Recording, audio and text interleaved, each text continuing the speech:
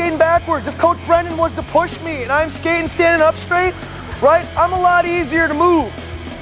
Right? Like if I'm standing here, push me, push me now. Right? I'm actually gonna go somewhere. If I'm nice and low, I'm nice and solid, he's not gonna be able to push me.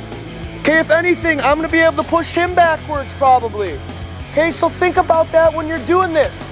Keep that center of gravity low. It gives you more power in your push and it lets your stride get longer. When you're straight legged, this is like as far as my feet can go without me hurting myself.